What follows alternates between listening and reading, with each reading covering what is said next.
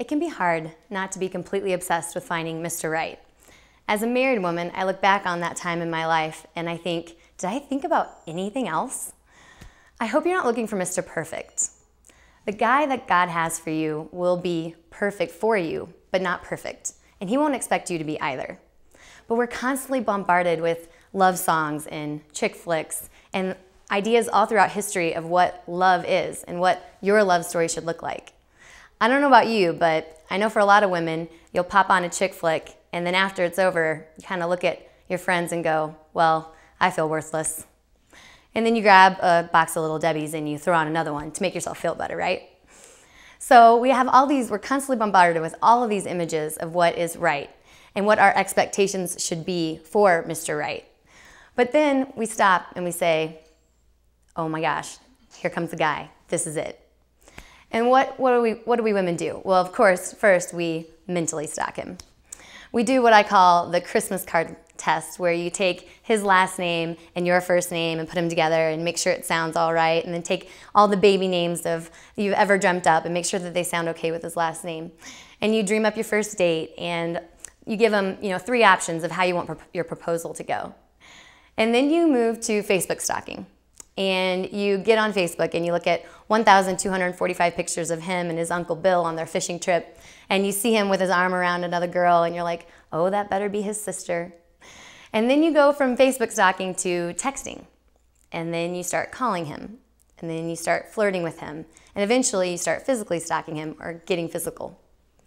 And all those Facebook and texting are all fine, but there can be some, some very potential traps. Think about it. It can be very addictive. It's sometimes pretty private.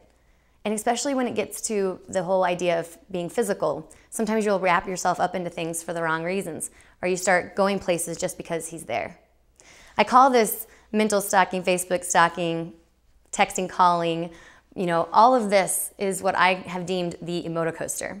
Why do I call it the emotocoaster? Well, it's a little bit like a roller coaster. You're waiting in line for four hours, you think it's gonna be the greatest thing in the world, and you jump on the roller coaster, and it throws you upside down and gives you whiplash, and then it comes to a complete stop, and you get out and throw up in front of everyone. It's the emotocoaster.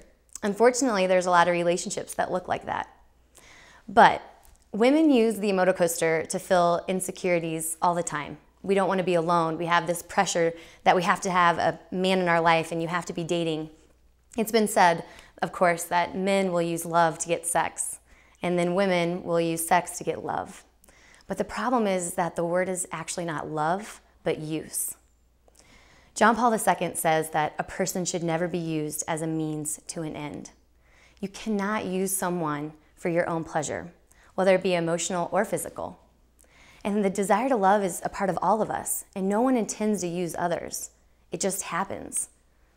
Think about a time in your life where you used someone and you knew it.